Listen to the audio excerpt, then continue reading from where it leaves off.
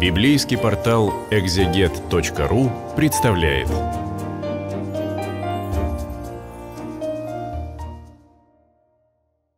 Здравствуйте, меня зовут Дмитрий Георгиевич Добыкин, мы с вами на библейском портале Экзегет, и мы с вами продолжаем читать книгу Иудифи, книгу неканоническую. Сегодня вторая глава, и напоминаю, что в этой, э, в этой главе, в этой книге действуют персонажи. Э, одни из них известны в истории, другие неизвестны. Но то, что здесь описано, ну, как бы не совпадает с тем, что было. Почему? Потому что на самом деле эта книга э, имеет в своей основе исторические события, но она их зашифровывает. Зашифровывает, называет другие имена, другие города, э, другие годы. И, соответственно, э, для читателя важно расшифровать э, эти события. Итак, читаем по абзацам. В 18 году, в 22 день первого месяца, последовал в доме Навуходоносора, царя сирийского повеления, совершить, как он сказал, отмщение всей земли. Созвав всех служителей и всех сановников своих, он открыл им тайну своего намерения и своими устами определил всякое злое той земле. И они решили погубить всех, кто не повиновался слову уст его. Ну, давайте здесь разбираться. 18 год. А, если мы берем Навуходоносора, 18 год Навуходоносора, это 587 год, это год, когда Навуходоносор начал воевать с э, Иудеей, ну и в конце концов захватил Иерусалим и его разрушил. То есть проигрыш евреев. А, но если мы будем дальше книгу читать, то мы увидим, что евреи выиграют, они победят. Ну и как бы вот здесь э, такая, такая игра или такой намек. Вот, вот этот 18-й год, год поражения. Но мы вам расскажем о победе. И если согласиться с тем, что эта книга вот так, э, книга зашифровывает, зашифровывает правдивую историю, то понятно, что говорится о других временах, а не о 587 годе. Ну и, соответственно, Ухадан царь сирийский – это другая личность. Я уже говорил, еще раз повторюсь, что, скорее всего, это а, а, царь, которого звали Антиох IV Епифан, и он был царем сирийским. Значит, э, когда это происходит, 22 второй э, день первого месяца, скорее всего, это месяц э, Нисан, хотя, хотя тоже под вопросом, какой подсчет, потому что существовало два подсчета по календарю, в календаре. Значит, и он собирает своих придворных и решает уничтожить всех тех, кто когда-то не явился на его зов. Что там произошло? Навуходоносор воевал с неким царем Арфаксадом, и, а, и Навуходоносор собирал союзников. Но часть пришло к нему, часть отвергла его предложение, и более того, его послов выгнали с бесчестием. И вот после того, как окончилось празднование, Навуходоносор решает устроить истребление за вот это бесчестие. Хорошо. По окончании своего совещания Навуходоносор царь сирийский призвал главного вождя войска своего Алаферна, который был вторым по нем, и сказал ему, «Так говорит великий царь, господин всей земли, вот ты пойдешь от лица моего и возьмешь с собой мужей, уверенных в своей силе, пеших 120 тысяч и множество коней с 12 тысячами всадников, и выйдешь против всей земли, на Западе за то, что они не повиновались слову уст моих, и объявишь им, чтобы они приготовляли землю и воду, потому что я с гневом выйду на них, покрою все лицо земли их ногами войском и предам их на расхищение.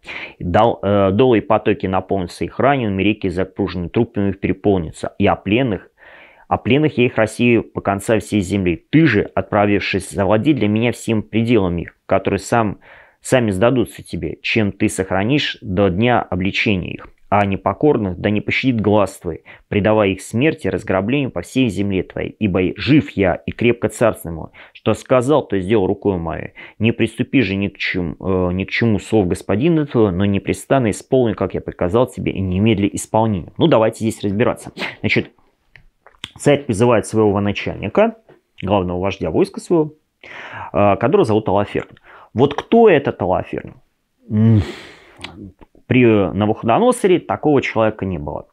Значит, если Навуходоносор это Антиох, то, скорее всего, но это тоже предположение, Лаферн это Никанор. Был там такой человек, который воевал против евреев, но это предположение. Книги Маковеев «Гибель» а, Никанора описывают не так, как книга Иудив, и поэтому, ну,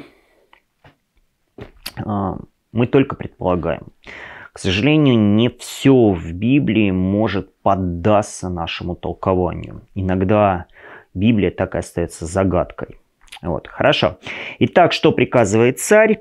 Э, он себя называет великим царем, хотя великий царь это Господь. Э, и Господь есть господин всей земли, который он дарует тому, кому он пожелает. Вот, но здесь царь представляет себя таким таким богом этой земли, царем, господином.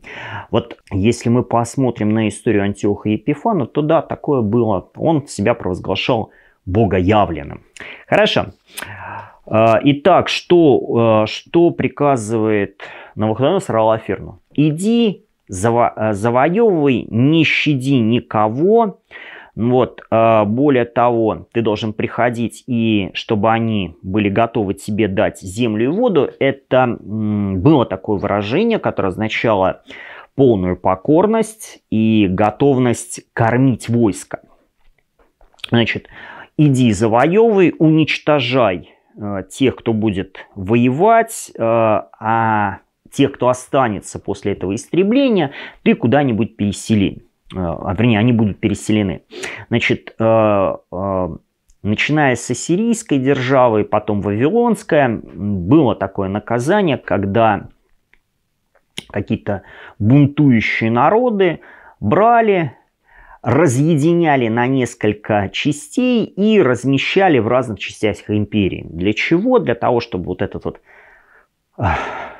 пыл восстаний, он ушел на другое чтобы они там э, пока поселятся, пока успокоятся, пока договорятся с соседями, все это закончится тем, что они уже бунтовать не смогут. Причем царь сразу говорит, что этот поход должен быть для устрашения, долы, то есть долины и потоки наполнятся ранеными, э, реки запружены трубами, их переполнится. То есть, знаете, так, он говорит с такой уверенностью, что так и произойдет. То есть ты точно победишь. Ну, вообще-то, э, если Господь э, будет кого-то защищать, никакая человеческая армия не победит его. Ну, в общем, э, в любом случае, он обещает что эти народы будут истреблены, он это приказывает Алаферну и говорит следующее, что сначала пойдешь ты, а потом пойду я, и уж тогда я уж Э, проведу полное, полное подчинение этих земель. Хорошо, идемте дальше. Лаферн, выйдя от лица господина своего, пригласил к себе всех сановников, полководцев, начальников войска сирийского. Отчитал для сражения отборных мужей, как повелел ему господин его, 120 тысяч и конус стрелков 12 тысяч.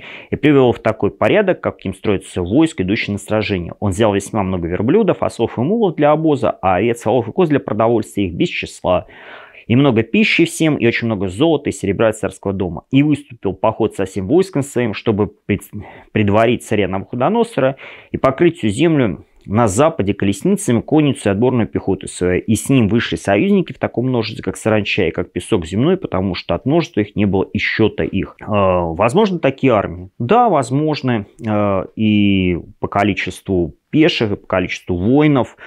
А, что интересно, что вот эти 120 тысяч пеших и, 100, и, 2, а, 12 тысяч конных, это только вот, как говорится, боевая часть и посчитанная часть. Да плюс еще шли всякие погонщики, там, тыловые части, еще к этому присоединились союзники на Науходоносора. Получается, что огромная армия идет. И в дальнейшем вот станет интересно, огромная армию, вот эту огромную толпу народа, победит всего одна женщина. Понятно, что она не истребит этих 120 пеших, 12 конных и множество других людей. Она убьет только одного человека. Но тем самым она победит всех. И вот одна маленькая слабая женщина победит огромное войско. Сила Божия, которая действовала через иудеев, совершается в немощи. Хорошо. Пройдя путь трех дней от Ниневии до передней стороны равнины Вектилев, они проводили до Вектилефа, близ горы, лежащей э, по левой стороне Верхней Киликии. Оттуда, взяв все войско своих пещерах и конных, колесницы свои, они отправились на горную страну, разбив Фудян и Лудян и разграбив все сынов Расиса и сынов Исмаила, живущих в пустыне на юге земле Хелионской. Потом переправились через Ефрат, он прошел Месопотамию, разрушил все высокие города при потоках а, Авроне от входа в море, занял пределы Киликии, он избил всех противоставших ему и пройдя пределов Иофета, лежащих к югу на передней стороне Аравии, обошли кругом все снов Мадиама, выжег жилища их и разграбил стада их. Потом спустились на роднину Дамаска, во время жатой пшеницы выжег все нивы их, отдал на истребление стада овец и волов, разграбил города, э, города их, опустошил их поля, избил всех юношей их острием меча. Ну, здесь давайте а, попробуем разобраться. Значит, Часть мест, которые здесь названы, они вообще неизвестны. Другие э, поддаются определению, э, и здесь э, можно попробовать посчитать. Значит, э, если выйти из Ниневии и идти до Киликии, то это расстояние невозможно пройти за э, три дня. Там оно огромное расстояние, им бы пришлось сделать много десятков километров э, в день, что навряд ли. Вот, поэтому либо, либо этот Алаферн выходит из другого места, либо вот это описание, оно просто перечисляет народы и территории, которые действительно были завоеваны, но это завоевание шло не из, э, не из Ассирии, а из других мест. И здесь можно понять, где это происходит. Если вы откроете карту и посмотрите, то понятно, что эти территории находятся недалеко от Израиля, но скорее это территория э, нынешней Сирии, территория Саудовской Аравии, вот эти территории. Вот. Э, и что интересно, э, ну, э, Лафер бы мог бы идти дальше, э, но вот э, он как бы идет так, по такому кругу. Понятно, почему он это делает, потому что ему нужно наказать всех тех, кто не принял царя, и он это и делает. Он действительно уничтожает города, он уничтожает э, поля, истребляет животных и э, истребляет людей. Ну и последнее предложение второй главы, читаем его. Страх и ужас напал на жителей Приморской страны, обитающих в Сидоне и Тире, на жителей Сура и Акины, на всех жителей Эмниана и всех обитателей Азота Эскалона сильно испугались его. Значит, давайте здесь разберемся, что здесь за места. Они названы Приморской страной, и там действительно так и есть. Это города, которые находятся на побережье Средиземного моря. Они здесь э, известны, Сидон и Тир. Это, наверняка вы слышали их. А, Азот и Аскалон это тоже города, которые находятся на, ну, возле Средиземного моря. И а, вот эта территория, это еще не территория Израиля. Сейчас это, конечно, Израиль, но тогда это а, была другая территория, это другая страна, это финикийцы, это филистимляне, но они тоже не приняли власть Навуходоносора, поэтому они боятся. Хорошо. Мы с вами прочитали вторую главу. Во второй главе рассказывается, как Навуходоносор отправляет своего военачальника Лаферна в поход для покорения, наказания тех, кто не принял его власть, э, кто не пришел по его зову. И Алафер начинает этот поход, и этот поход у него успешен. Э, все, что ему приказал делать царь, он исполняет. Спасибо за внимание. Меня зовут Дмитрий Георгиевич Добыкин. Мы с вами были на библейском портале Экзегет. До новых встреч. Всего доброго. Спасибо за внимание.